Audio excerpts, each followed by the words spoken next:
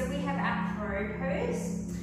Now, today we're going to be doing something a little bit different. We're going to be extending one leg, bringing ourselves back into crow and extend down through the other leg. Okay, so we're going to see if we can do this. I'll face the front of the room to begin with. So, hands directly underneath the shoulders. And let's lift up. I'm going to bring myself into crow, find my balance.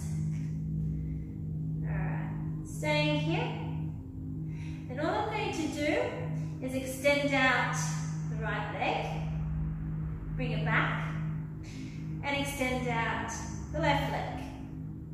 Bring it back. I'm going to show you this from this side. Now, the foundation of this is always crow. If you can pick yourself up and hold your belly through the spine, still breathing, then that is your foundation. Lift, balance. Hold, protract, look ahead, left leg, back. Right leg, back, wobbly. Lift back up, look ahead, and down. See how you go. That is just a playful crow.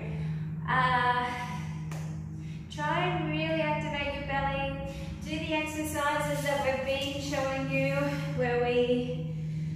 lift up, take the legs out, and lift so that you're really work into building strength in that belly.